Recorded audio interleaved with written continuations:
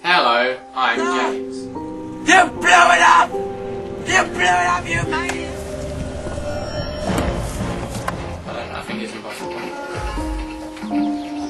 Yeah.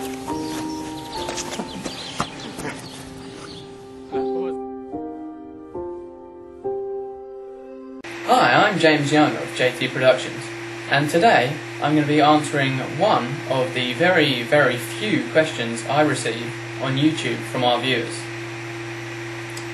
Now, I've received a message here from the user British Bulldog 5505, and it says, Have any of you lads ever been injured doing them vids? Well, the answer is yes. During the filming of our smash hit Terminator Part 2 back in April, I'm the Terminator T1000 Mark 2.0. John Young, aka the Terminator, got hit by Tom's car in this scene. Let's watch it now.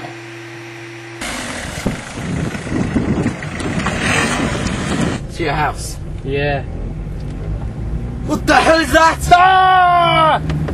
It's running over! Ah! Ah!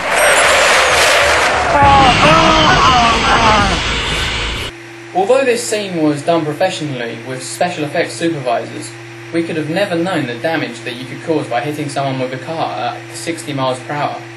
And uh, after this scene, both John's legs were permanently broken, and now he's in a wheelchair.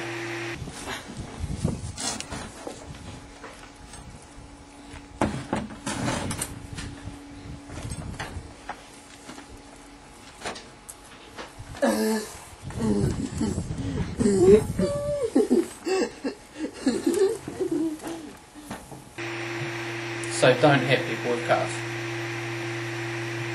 Even if it's for a video on YouTube. Because they could get injured.